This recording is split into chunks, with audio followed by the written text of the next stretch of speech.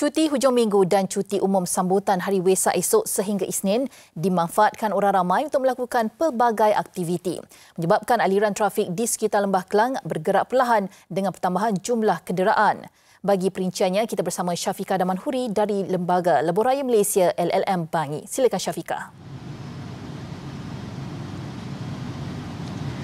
Baik, Assalamualaikum. Terima kasih Nik Nur Syahadah. Dan hari ini ramai yang memanfaatkan cuti hujung mereka untuk kunjung mengunjung ziarah menziarahi dan menghadiri jemputan rumah terbuka selepas raya terkejut pada 2 Mei lalu. Dan dengan cuaca yang panas dan membahang ini, ramai juga yang mengambil kesempatan untuk melakukan aktiviti beriadah sempena cuti hujung minggu tiga hari ini.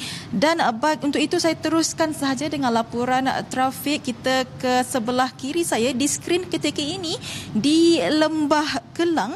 Jika anda dapat lihat di kawasan yang atas Subang kilometer 14 itu Lebuh Raya NKVE di kawasan sebelah kiri menuju ke utara. Dilihat kenderaan bertambah dan juga trafik kelihatan perlahan. Dan di LDP di kilometer 18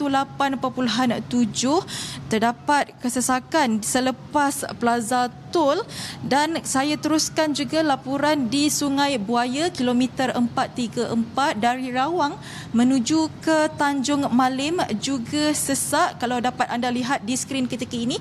Dan saya bawakan pula uh, beralih ke Uh, Lebuh Raya Utara di Sungai 2 kilometer 130.95 dari Sungai 2 menuju ke Sungai Petani. Kenderaan dilihat bergerak dengan perlahan dan juga pertambahan jumlah kenderaan ini dapat dilihat sejak pagi tadi. Dan saya beralih ke uh, Lebuh Raya menuju ke selatan tanah air di Bangi di kilometer 297.70 kelihatan kenderaan berhenti di situ menuju ke Nilai dan di pantai timur di Genting Sempah.